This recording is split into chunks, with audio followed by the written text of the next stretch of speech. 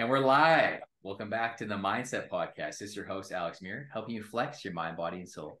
And we're having our first guest of 2024, a repeat guest, Omar Medrano. Omar Medrano is the author of Vacation CEO, What If It Did Work, the host of the What If It Did Work podcast, my favorite podcast. I'm biased. and also, most recently, TEDx speaker.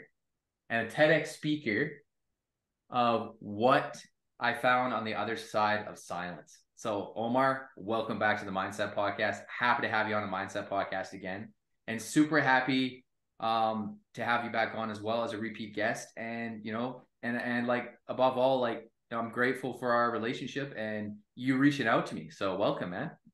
Dude, I'm I'm grateful that you want me back on the show. I was Absolutely. grateful the first time. Yeah. The second time means I must be doing something right. That you, I'm I'm worthy, and I'm I'm here to bring it. Absolutely, absolutely. So let's let's let's start off by talking about your TED Talk, man. Like that TEDx talk, man. Like you spoke right from the heart, and I've always uh I've always admired people speaking on stage, and I've, it's always been something that I've wanted to do. So why don't we start there and just be like, have you have is that something that you've always wanted to do? Have you always wanted to speak on stage to people, or because I know you already speak on stage to people with like your coaching business and stuff like that, and just when you've you know been at seminars, conferences, and stuff. But as far as a TEDx talk, is that something that always that you wanted to do? That was something that I wanted to do for years, just because I was a guy that could not speak. We, I, I believe we all have a story. I, I believe that was my destiny to be on that stage, to do that TED talk. And I, yes, I did speak from the heart. It was hard because I'm used to riffing on stage. When when I'm on someone else's stage, when I'm speaking from the heart, I always ad lib because it's from the heart. But one of the hardest things to do for a TED talk is you have to have a script. You have to send them two, three, four different takes and that was the hardest thing for me was to be on that stage, not to be on that stage and tell my story because I lived that story. That was my past. I don't use that past to to cry and play victim. I use my story to say, "Hey, get up. Get on your feet." Like what Gloria Estefan said. We all have a story. Let's hear your story. Let's move the needle. Let's create positive change in this life. That's what that message is about. Yeah. And do you feel like your podcast combined with the books that you wrote and and doing the TED Talk, do you think all of those things kind of led to you like wanting to come up with that specific kind of a talk? Because it, it's all about finding your voice. It's all about sharing that voice with with the world. And well, well, my message, my story has always been to find your voice, to release it. Dude, I'm a kid that was in ESOL, English for speakers of another language, for three years. You know, I was the guy that was so fearful of rejection, couldn't ask out a girl, couldn't live out my dreams, couldn't go for it because what if somebody says no? Think about it. I was afraid that I had nothing to say, that they thought I couldn't speak English. And what that's just a metaphor for a lot of people because a lot of people sit in the back. They're not living their true purpose. They're not living their life with any purpose. They're just existing. They don't realize they're dead. Yeah, sure, they might be 20, 30, but they're not living the life they were meant to be living. God, the universe, whatever you believe in, has given us this opportunity every single day of living a life on your terms, on going out dude, like you, congratulations, you got married. Congratulations. You live every day of your life in love, in service.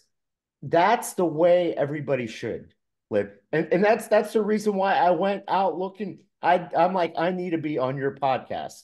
Absolutely. And like when I had the opportunity to be on your podcast too, that led me uh, you know, to kind of share my story too and like it's a it's a big deal right? And when we get to do that when when when we have a platform or we share a platform with someone to be able to do that it's very powerful and it's like it can it can change you know if it changes someone's life like you know you're do, you know you're doing it right and you know that you're you know you're helping the world right? You're building my whole mission with this podcast and being on anyone's podcast is to build better human beings right? Because the world you know the world is constantly changing we're in super uncertain times more than we ever have been. Um, but one thing that the world has taught us ever since everything that's happened with covid and everything is just to prepare. We got to be more prepared. And how do we prepare more? Well we focus on what we love to do. And when we focus on what we love to do it helps us show up in the best way possible. And it helps us uh, you know build the best version of ourselves to show up for those that we love and then those that we want to interact with and uh, touch you know other people's lives. Dude there's two things. You can either live in service there's givers and takers. Yeah. And anybody can take man. That's why everybody's so victim mode or everybody oh i i can't wait for somebody to give to give me my life. Dude be your own friggin hero. Write your own story. Create your own legacy. We are writing our own obituaries as morbid as that sounds. What do you want it to say here lies joe. Man he knew how to stream he watched every episode of stranger things. He watched every episode on netflix. The guy was on fire. And man he got a social media following. He had 10,000 likes. He was one hell of a dancer. He would get on tiktok and he would dance away. That's how people are living their lives, man. Such shallow existence, not realizing, man, today is all we have. You said be here at this time. Heck, you know, an old guy like me at 50, really, no, I, I, I'm up at this time no matter what. But you could have told me, would you like to be on at 2 a.m.? I would have been on at 2 a.m. I've been on someone's podcast, West Coast, married couple, and they're like, is 12 midnight too late? 9 p.m., you know, Pacific. I'm like, no, man.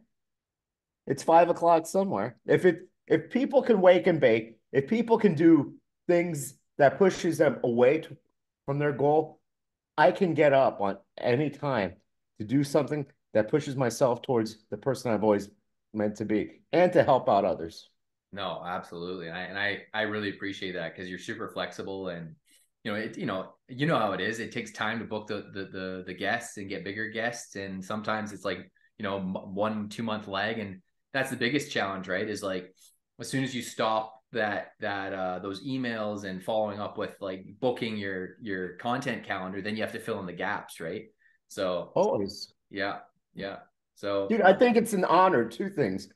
When somebody wants to be on my show and a bigger honor if somebody wants me on their platform. I don't care if they only have five downloads. I don't care if I'm the first guest. I don't care if they want me to to speak in the, someone's living room. Yeah. Well, hopefully not too far, local. Yeah. And I'll do it, man, because it's an honor. Yeah. And let's talk about when because like on the on our first episode together, you talked about your background in journalism and and then and how you wanted to get into sports broadcasting and that that uh, that dream didn't work um, but the transit and then when you were a franchise owner with smoothie king and the challenges that you encountered through that let's talk about the transition from journalism to franchise owner but then from franchise owner to sales coach like your coaching business that you have now right? And you built a you built a really good following and you've got really like yeah loyal followers like you got it uh, on your instagram account on your your podcast. Let's talk about kind of that that shift in career right? Going from one extreme to the other like how that kind of how that happened and, and what made you want to get into kind of coaching um, and like leading people and you know building the movement around what if it did work alex we're all in sales brother you sold me i, I had to sell you to be on your show, you had to sell me to be on my show. The moment people realize that we're all in sales, because they're oh wow, salesmen are are people that sell timeshares or used no. cars. No, man, you you sold your beautiful wife the dream, the opportunity of creating a life together. It all started with one one ask: Can I take you out? Hey, can I see you again? Hey, can we be an item? Can we be exclusive? Can we build a life together? All selling that we sell every single day. When you guys have children, they're going to sell it. Alex, dad, get up. I'm hungry by crying and screaming. And selling, there's always a transaction. Either you're selling yourself or you're selling someone else, or they're selling you why they can't hire you, why you can't be on their stage, why you're not good enough. And a lot of times it's just the spirit, the spirit of hearing the word no, man. And I lived my life like that for so much. Oh my God, no, no, no, no. You know, I can't ask out that girl. You know, Sw- shift that mind shift. Who cares about rejection, man? Go go into it thinking if she says no, she's gonna regret it because I could have been her best date ever. She's missing out, not you. And uh, in the sale, if you're selling something, you're selling something that can improve someone's life. And if you're fearful of asking people what what benefits this provides or whatnot, you're being selfish. Think about it. If somebody had the cure for cancer, there's always going to be skepticism. Even if, let's say in this utopian world, they find a cure, but the person held it back because they're too fearful of hearing rejection. That'd be the ultimate. That that be the ultimate screw you. That'd be the ultimate selfishness. So no is just the simple. It's one syllable, dude. I usually I only speak in two syllables, possibly three, to try to impress people. But one syllable, two words, two letters. No. Next. Yeah. Yeah. No, I love that. Yeah. So because like for myself, like I like for years I've had this dream of uh yeah, building kind of my own platform. And I and I, you know, it's evolved over time. I never knew it would be podcasting, but I again like you you you learn by doing and I stumbled across it after I set up my blog. And when I set up my blog, that's when I'm like, you know, I was testing out writing blog articles and all that kind of stuff about personal development and fitness and health and wellness because that's what I'm passionate about. But then I stumbled across how to make a podcast and by using that Anchor app, which is now known as uh, Spotify for podcasters and that's kind of how it all started and it's just evolved from there. Um but like just the sheer fact like the ability that we can interact with you know business people all over the world like is absolutely incredible. And using a platform to to have them on your show and to create your own brand it's a like like you said it's an excellent way to sell yourself and create your own brand and market yourself. Dude before i had a degree like i said mass communications failed journalist there was no way I could do uh I'd have to go into like a studio, like a AM or an FM station, get a job, beg, work crappy pay, crappy hours just to put out content, play some records, CDs. Maybe be a shock jock, maybe be Howard Stern, which there's only one Howard Stern. But now, man, you have a voice and what what's holding people back, because the average podcast only lasts like nine episodes, is people feel like they want to be Joe Rogan. There's only one Joe Rogan. Just yeah. be the best version of Alex. Be the best version of Omar, man. And just put keep on putting out content. And if you have one listener, if you have two people, three people, hey, you're winning, man. Just keep it going. That's it. Just build just move the needle. Just build yeah. it, man. Yeah, yeah. Uh, th- this is coming from a guy that owned a retail establishment that was only doing two hundred dollar days. I didn't quit because I'm stubborn. We create my ex-wife and I. We created one of the top selling stores six months, eight months later. So it's possible, but if you fail, there is no possible. It becomes impossible. And then when you fail, you, when you quit, when you quit on yourself, it becomes addicting. You will always, it always becomes easier to quit. To me, quitting is like killing, not not killing literally, but you're killing part of yourself. You're yeah. killing part of your soul. Yeah. You're killing your dream slowly each time you quit on yourself. You quit on your dream. Yeah, no. And like that that's something for for 2024 especially that you know that that I've been working on too is like I never want to lose sight of the vision, right? Of my vision of like where I want to go because I have the vision, the pieces are there, the platform's there. It's just execute. It's just continue to put out content, continue to build the brand, right? And then creating the product or service that'll come. Because I'm I'm doing a uh, I'm working on affiliate some affiliate services and products, right? To put and I'm building a sales funnel right now for the uh, well, you know, that'll be on the blog and all that, and it's gonna take time, but it's like once I figure it out, I'm telling you, man, like corp, corp corporate and all that, done. It, will be it's a game. You already have yeah. that spirit in you, brother. Yeah. Your yeah. mom and dad. Yeah. Dude, yep. it's in your DNA. It's in it's, your it has. Yeah, it's been since day one. Yeah. Dude, it's killing your spirit. It's killing your soul because you were born to be an entrepreneur. Your parents were the ultimate warriors, the ultimate gone people with gonads, people with courage. Because working in corporate America is but people believe it's safe and it's not, man. My mom worked for corporate America until she was making too much money and she was too old. You know, when you work for yourself, you create your own hours, you create your own schedule. You the more you hustle, the more you connect, the more money you make. Plain and simple. Man, we live in an age of technology. When I first started as an entrepreneur, do, doing a spinning sign or passing out coupons or paying for for advo drops, mail mailers, and all that. You don't have to do that anymore. You can do target ads. There's so much out there. When I see businesses fail, it's not the business that failed, it's the owner operator that failed. Yeah, yeah. Because we have all the resources, we have all the tools. It's just some sometimes when we're failing, it's just we have to re-strategize or we have to, yeah, do do things from a different angle.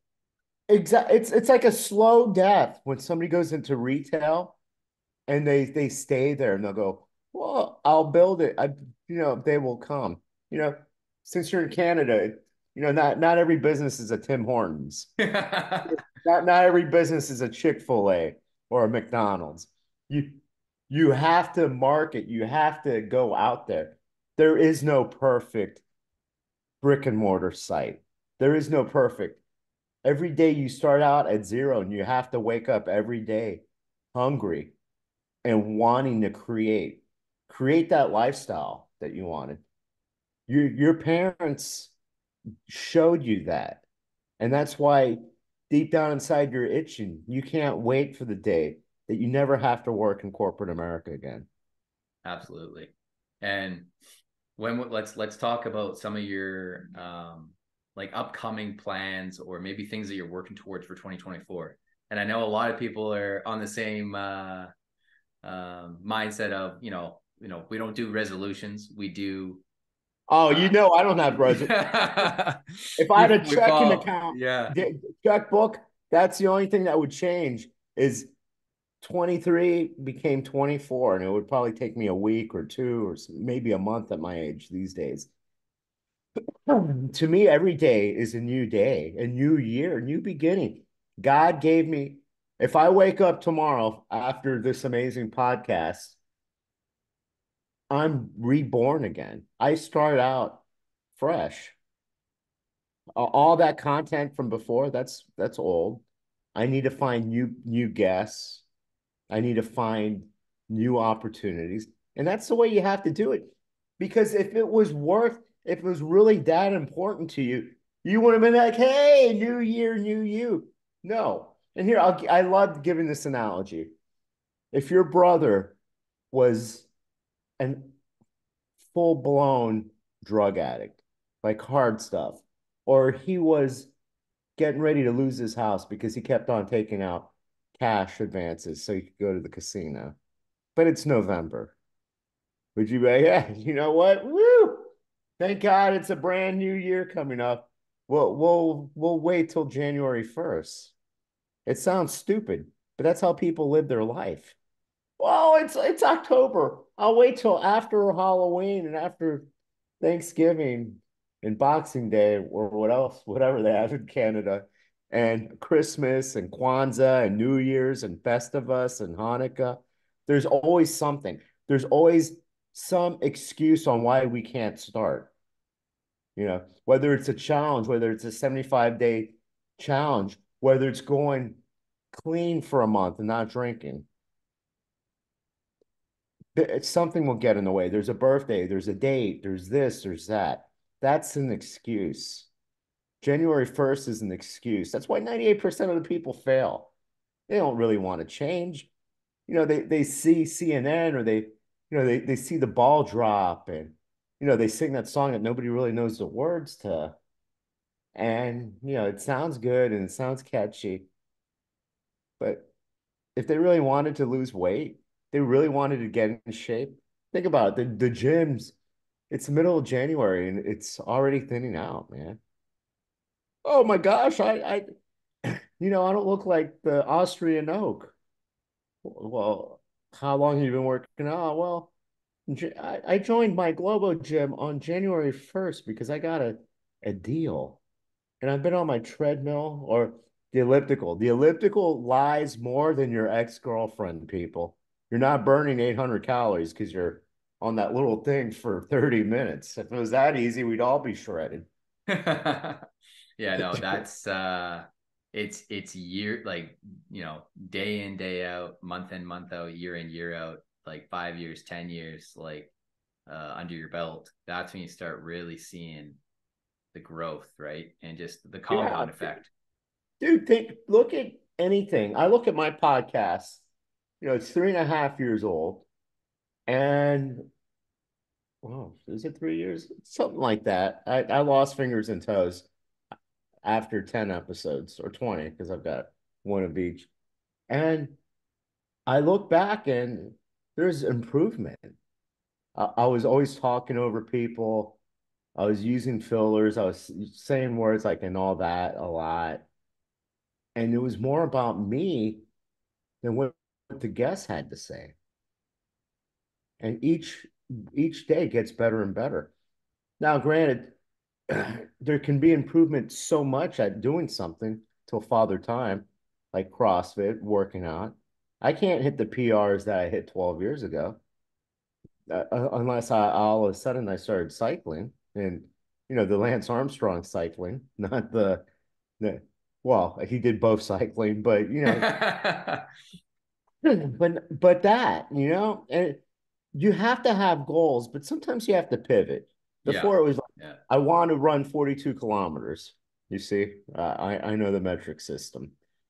26.2 miles for the north for the ones south of the border. I want to I, I want to hit PRs. I want to have the 135 snatch power lift, Olympic with light weight, not not not anything vulgar. Stuff like that. Once you can't do it anymore because of your body, you don't just throw the the goals out the window. You just pivot yeah. and you change them. Yeah. I, I can't run because I, I have a torn ACL. I don't want to go for the surgery and all that. So do do something else. And and that's how you have to live life. You know, you're either growing or you're dying. I, I don't work out every day just uh, you know, because I want to film video and content, which I, it, it's only my only free time. Sometimes that's why I do it inside my gym or right outside of it. Cause you know, I'm I'm not like everybody else at a Globo gym. At, I, I know you work out at home, but dude, if you go to a a, a Globo gym, there's people out there with tripods. Yeah. And it's like, are you serious? Yeah. No, hell no. I'm not doing that. and, and, I can imagine, yeah, you know what? They're friggin' Ronnie Coleman. Yeah. Like, yeah. like you know, friggin' Cutler. All all these guys, massive guys. I can understand if they're I'd be like, hey.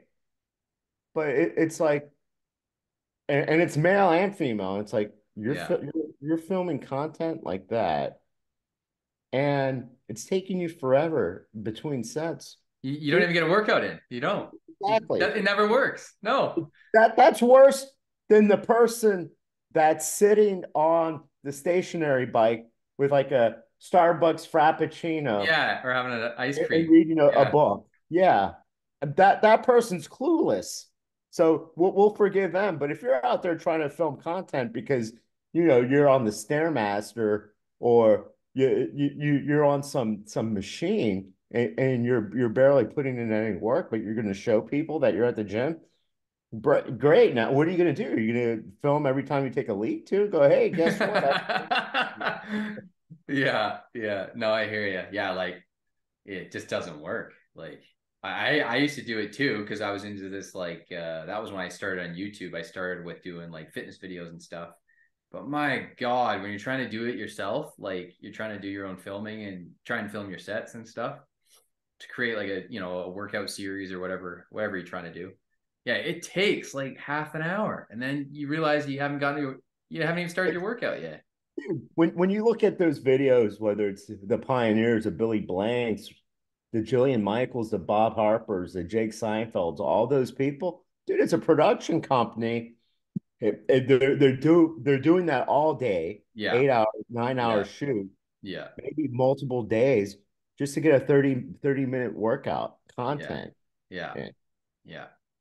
And, and, in all those videos, they always have hot people like behind. they, they never have reality. Like, no, the like no, offbeat, no. 300 pounds, like yeah. sweating up a storm. Of course not. get ready to have an aneurysm. They never have that. It it it's just like I don't know if you remember. They always had um Bowflex. Yeah, oh yeah, yeah. They always had like the chiseled chick guy, perfect looking guy. None of yeah. them had any blemish. They no. didn't have like facial hair, body hair, Nothing. no wrinkles. No. You know, like 20 minutes oh. for three times. Yeah.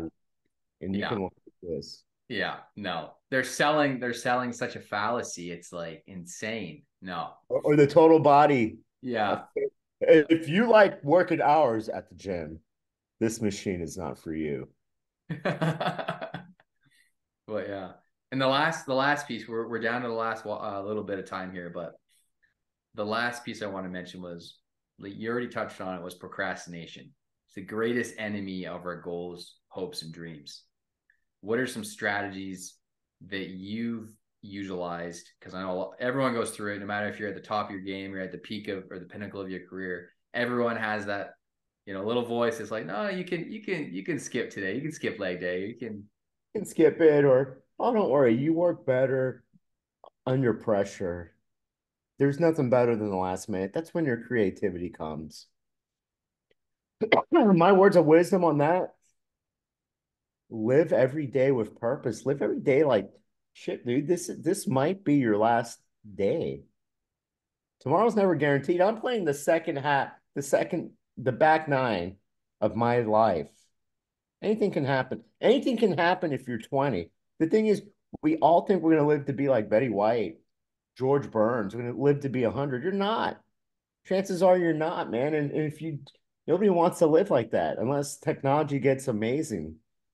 You know, my grandfather's 99 and a half, and it's like, holy shit, I don't want to live like that. If you live today, you know, you're you're in a fight with somebody, you're you're you're in a fight with your husband, with your kids. You might not get that opportunity of saying, I love you. So you're going to create someone's last memory, a fight, because you know we we think tomorrow is guaranteed. It's not, man. Time is so precious. Tomorrow's never guaranteed to anybody. Do it, man. Do it when, when you still have the energy. People that keep on saying, "Oh, I'm still young. I'm too young." Dude, I was your age. Never did I think I was going to be 50. Time goes by fast. When you have kids, I've got a kid that that's graduating high school in four months. It's like, where did the time go? It flies. That's why you have to enjoy every single day. If if we're lucky, 2024 has 366. There's a leap year. Yeah, yeah. Please, to create magic, to create your life. Don't piss away chapters of your life. Do do it now. You know, there there tomorrow Eh, yeah, let me do it tomorrow. Let me do it someday. Someday it always leads to a town called never. Quit lying to yourself. Do it. Do what needs to get done now, man. Or as my dad says to me all the time growing up, the Nike slogan, Alex, just do it. Dude, it's gonna suck tomorrow.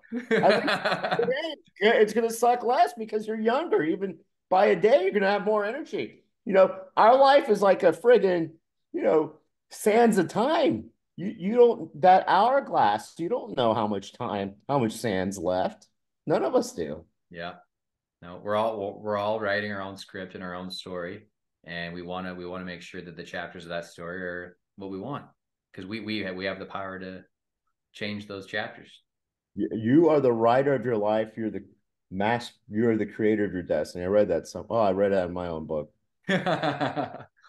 well, yeah, really appreciate your time on the MindCep Podcast today, Omar. So happy to have you on, and as the first guest of 2024. Uh, where can our listeners find you, um, and how can they connect with you, and like which platforms are you the most active on? When it comes to finding me, I'm I'm like St. Jude. I'm the patron saint, not of lost causes, but of your cause. I'm not here chasing money. I'm not here waiting to get paid. You can fax me, you can DM me, you can send me an SOS, Morse code, whatever. I'm I'm available in every platform. LinkedIn, Facebook. Heck, what if it did work? Join my group and promote yourself. Don't I let you promote? Absolutely. What if it did work? Yeah. Post your content promote say hi do whatever do that i'm on instagram dm me dm me anything any question but don't dm me two things that i get. People trying to sell me that i look like crap. Yeah i'm 50 i'm not going to look like 20 and you're not going to make me look like i'm 20 if you had that you'd be in beverly hills. Or you'd be living in vancouver. You see? And, and two don't try to sell me crypto. Who can or forex. Or that you have the cure for whatever bull crap. And you know what? If you get a DM from me on Instagram that says that I'm trying to sell you crypto or Forex, that's a fake account, man. The only thing I'm ever going to try to sell you is to live the life that you're always meant to be living. Right on. Awesome to uh, have you on the MindCep Podcast again, Omar. And I'm really looking forward to uh, going on your show again in the near future. You will. You just say you just say when. Yeah. I'll send you the invite. Sounds good. Sounds good. Right on.